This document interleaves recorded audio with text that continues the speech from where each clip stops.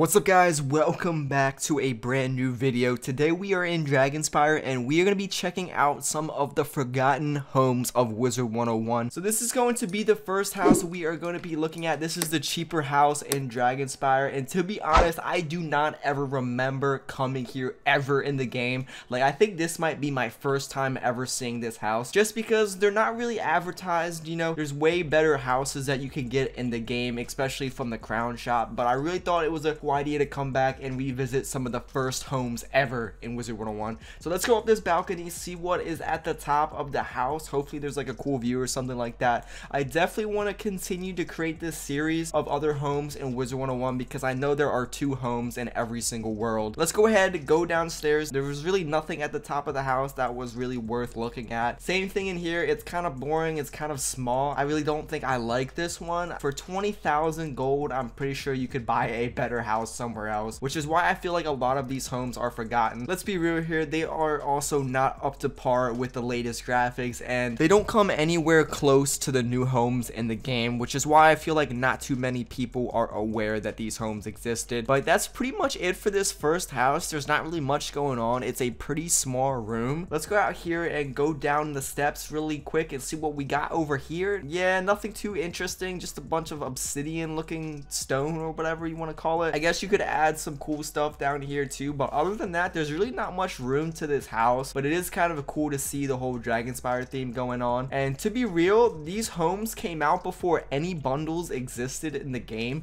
so to have a PvP circle in your home was just completely unheard of. Let's go ahead and take a look at the next house. Now, I'm pretty sure this is definitely the better house. Obviously, it cost over double the price, so this one's gonna run you 50,000 gold. Let's go ahead, take a look at it. Let's hope that it meets up with some of the standards of today. Nope. nope. I mean, it's pretty big. It's a lot bigger than the other home. There's a lot more room out front. You know, if you want to add some stuff, you guys are big on decorating the outside of your home. I would rather go with this one than the other one. But uh, let's go ahead and continue to see what this home has to offer us. I feel like I'm a real estate agent right now. Yeah, there's, there's a lot of room out here. Like I said, there's not going to have a PvP circle because these homes literally came out before that was even a thing. Let's go inside, see how big the interior is. Wow, okay, so this is really cool. So it looks like there's a big crystal in the middle. It's kind of cool how you can kind of walk around it and see everything. But yeah, there's a pretty cool view of a crystal. Having that as the centerpiece of your house is pretty cool. There's like a little platform here and then like a little platform up here that you could, you know, decorate however you wish. Honestly, I don't think that I would ever buy this house. It's not really my style. But like I said, I feel like it was a cool idea to come back and revisit some of the first homes of Wizard 101. And as you can see, they came a long way. These homes really aren't the most colorful. To be honest, Dragonspyre only has a certain, you know, color palette, so I can kind of see why this home isn't as colorful as some of the other homes. But uh, yeah, this is a pretty cool, like, underground kind of lair looking thing. There's a room over here. There's like a pretty cool lava pit right in the middle. So I feel like this would be one of the coolest parts of the house. You can come over here and, uh, you know, look off the edge into the abyss.